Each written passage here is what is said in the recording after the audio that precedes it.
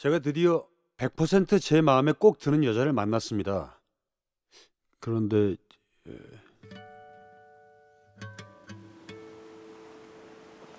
남태평양의 섬나라 피지.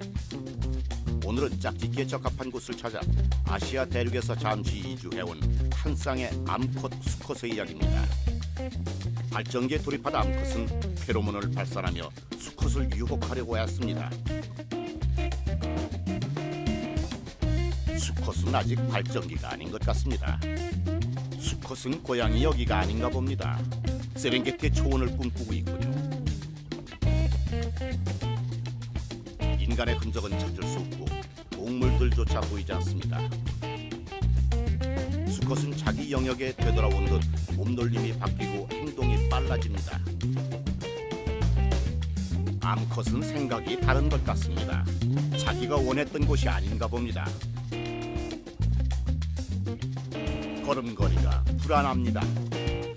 점점 발걸음이 이상해집니다. 수컷은 짝짓기에는 관심 없고 놀이에만 열중합니다. 이 인간 수컷은 다 자라도 여전히 아이 같습니다. 흥분한 수컷이 달립니다. 미쳤나 봅니다.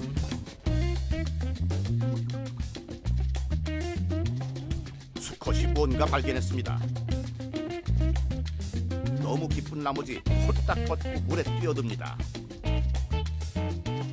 아직 철이 덜 난 것 같습니다. 암컷이 뭘 생각하는지 안중에도 없습니다. 이 한 쌍은 처음부터 동물의 종이 다른가 봅니다. 피지의 밤이 옵니다.